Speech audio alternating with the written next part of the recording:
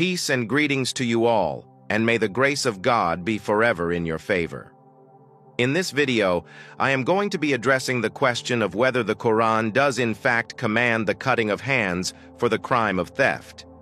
It is traditionally believed that in verse 38 of chapter 5 of the Quran, God commands or instructs the faithful to amputate the hands of the male and female thief if they have been found guilty. However, this is a position that I have found not to be consistent with the verse in question, and I would like to use this video to present my arguments for why I do not hold this view. But before I get into that, let me first establish my foundation for my research.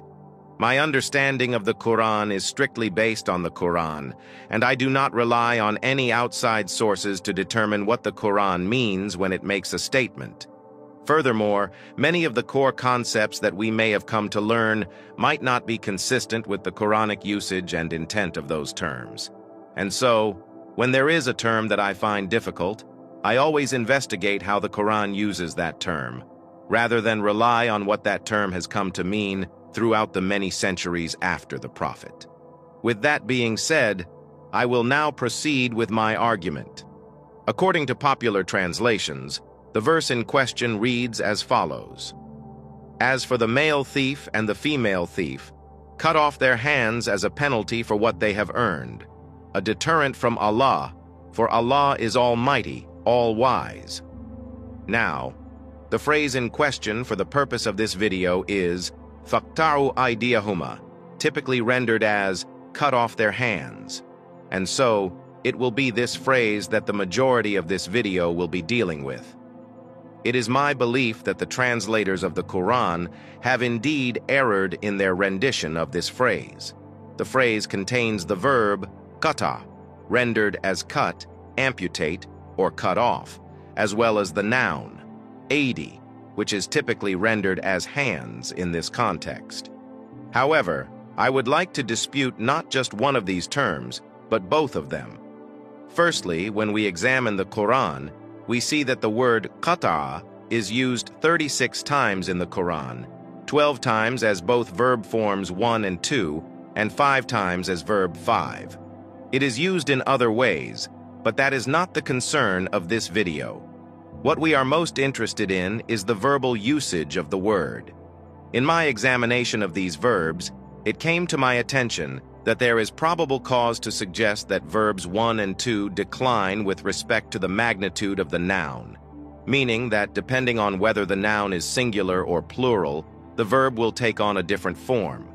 In the 12 times where verb form 1 is used, in nine of those times, the noun that follows the verb is in its singular, whereas in two times it can be argued whether what is meant is singular or plural, as the word used is the indefinite word, what or whatever. And lastly, in one of those 12 times, there is no noun indicated, however from the context, the likely intended word, sababin, is also singular. In its 12 usages of verb form 2, qatta, in 11 of those times, all the nouns that follow are plural, whereas one is debatable. It is debatable because the plural form of this noun, earth, is not clearly established within the Quran.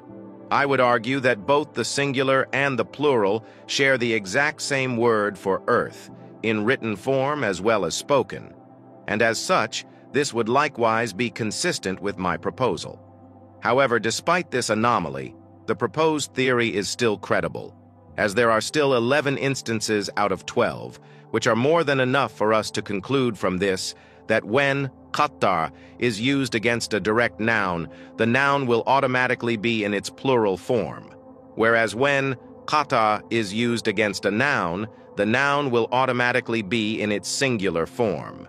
We similarly see that on the page before this verses page, the word qatta is used in verse 33, wherein the end result of those who wage war against Allah and His Messenger, and who cause corruption in the land is outlined, and once again therein, the plural is followed. Yet on the following page, verb form 1 is used in verse 38, despite being followed by a plural. Now, with that having been established, we will now turn our attention to the phrase from earlier. Why is it that in the phrase in question, it is what appears to be a plural that follows the word qata? As already showed, the noun in question is aydiyahuma, typically rendered their hands, with hands being in the plural and there being in the dual plural. This is because in Arabic, there are two types of plurals, plural and dual plural. Plural implies more than two, whereas dual plural is two. Due to this ambiguity, it also calls into question what the actual meaning of this phrase really is if we are to render it as we traditionally have come to learn. Looking at the phrase through this angle, it would seem that the hands that are supposed to be cut must be more than two, since it is the plural form of the word hands that is used and not the dual plural.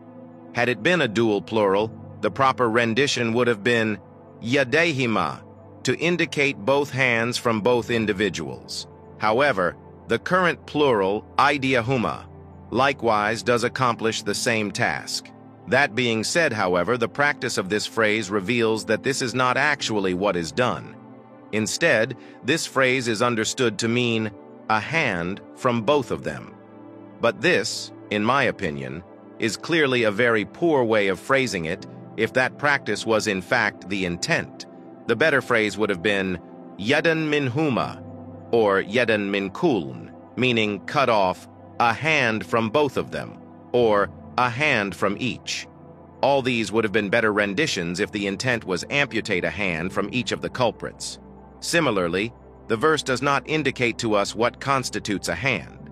In this same chapter, in verse 6, when Allah informs us about the washing ritual when rising up for Salat, he specifies up to which part of the hand we should wash.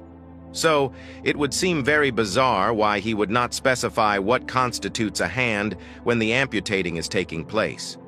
Should it be at the wrist up to the fingers, or from the elbow, or from the shoulder, or from between the elbow and the wrist? This silence on this issue suggests to me that the initial intent of the phrase was never intended to be understood as implying cutting or chopping off the hands. So, why then is the word aydiyahuma used after verb form 1 of the word qata, after we have established that plurals do not follow this verb? Well, my understanding here would be that this word is in fact not a plural, but rather a singular and it does not mean hand.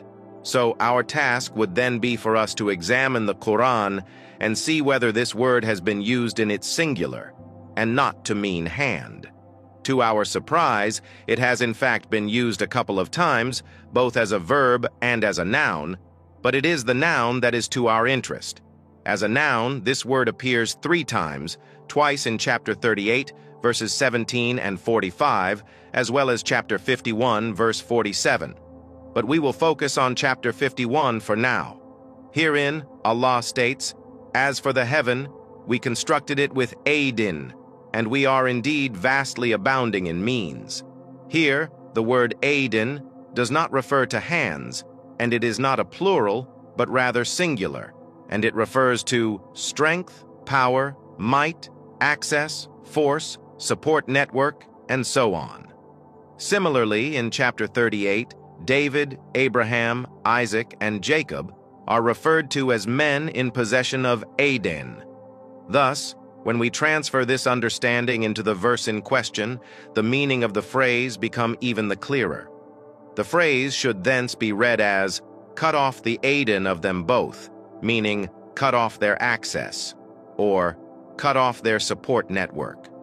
Thus, what the Quran intends to relay to us in this verse is that when someone is found guilty of the crime of thievery, their community should take the initiative and cut off their support network, which enables them to steal, meaning that the people of the community should put restrictions on them. This also supports the following verse, which states, So, whoever turns from his ways after his wrongdoing and reforms, then Allah will indeed be receptive to him, as Allah is indeed forgiving, merciful. Thus, this would mean that when someone is caught stealing, then there should be restrictions placed upon them and placed through a process of rehabilitation where they turn from their ways and reform, after which Allah will turn receptively to them, as Allah is forgiving, merciful.